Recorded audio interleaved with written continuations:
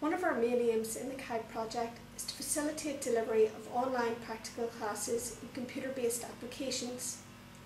This will reduce the need for online students to come to the IT Sligo campus for this type of class and it will also enhance their learning by enabling practical application to be continually integrated throughout the course. This video demonstrates how this type of online class works for a module in 3D CAD. Each week, students log into the class from their home computer.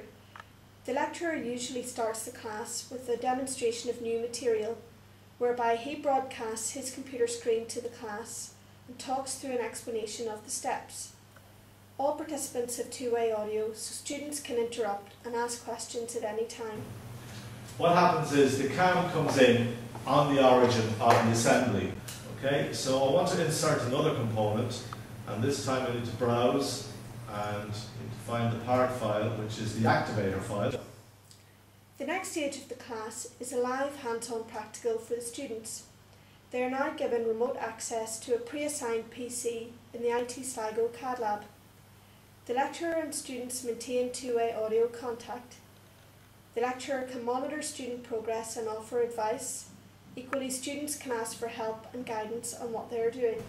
Okay, Colin, that's grand. Um, your component's in now, so if you go up to um, New, yeah, perfect, and you can stick in the activator.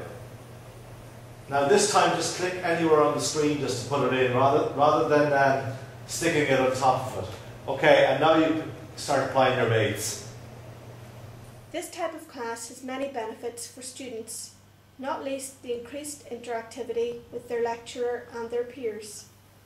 As the project progresses, we aim to roll out this type of class to a wide range of subjects, including, for example, mathematics and automation.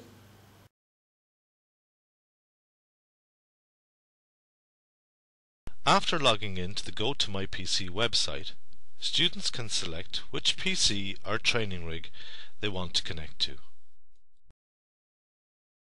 The window highlighted is the image of the PC on campus. Students log in and have full control of this PC.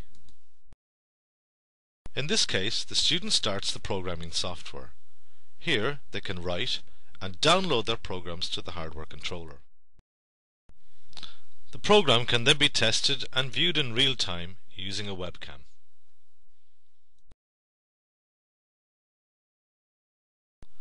Finally, the student can close the applications, log off and disconnect from the remote PC.